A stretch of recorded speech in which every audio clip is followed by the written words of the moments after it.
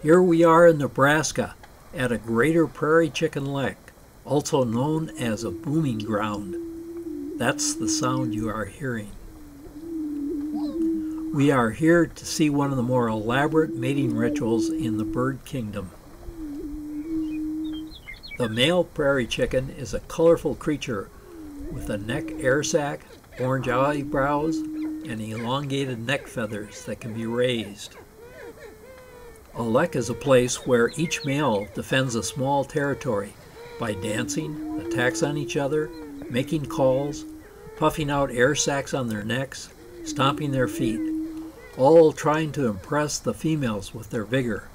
For the closest human equivalent, think of a typical bar in a college town. The term booming ground comes from the low frequency sound they emit when they display. These sounds, made with their air sacs, can be heard from over a mile away. Since the arrival of European settlers, greater prairie chickens have been greatly reduced in numbers due to their grassland habitat being converted to other developmental uses. Their conservation status now stands at near threatened. I have sped up this overview of the lek so you can see the males scurrying around to defend their territories. Now let's zoom in to better see their displays.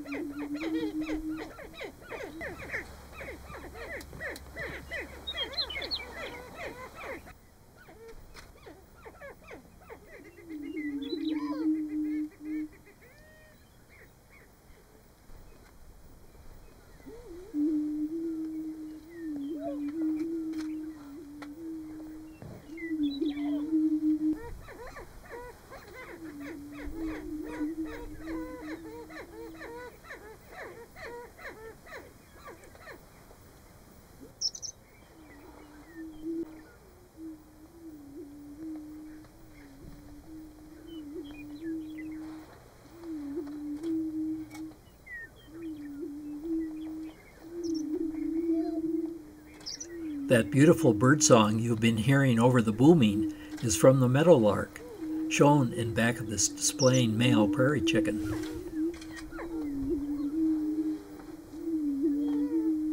Now let's take another look at these display annex, first in real time and then in slow motion.